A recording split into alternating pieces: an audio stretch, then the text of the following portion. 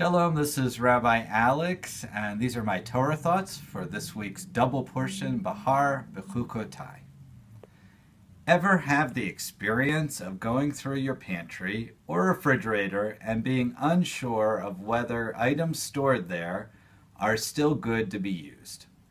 Whether the sell by date has passed, or whether the food just doesn't look right or smell right, we have no choice but to throw it out.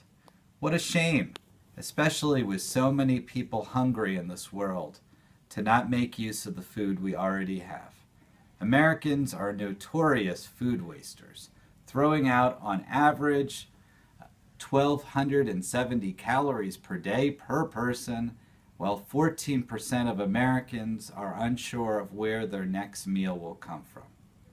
It turns out that this is not simply a modern day problem, but one that has been around for thousands of years. In one of the blessings offered in this week's double portion, Bahar Bechukotai, we are told that if we follow God, you will be able to eat that which is very old and remove the old to make way for the new. In this vision of our future blessing, there would be such abundance that there would not be even room to store it.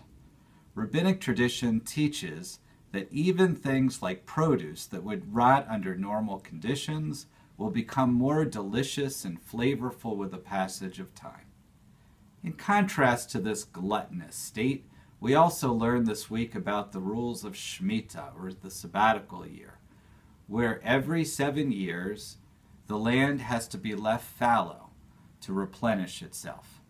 This giant trust exercise requires the Israelites to enter a state of austerity with the hope of better appreciation for the bounty of our lives. The frustration of seeing food go bad is not only the lost money, but also that we have ta taken our great gifts for granted. This week, I encourage you to look through your pantries and the back of your refrigerators for items that can still be used hoping to follow the biblical precept of removing the old to make way for the new. Shabbat Shalom.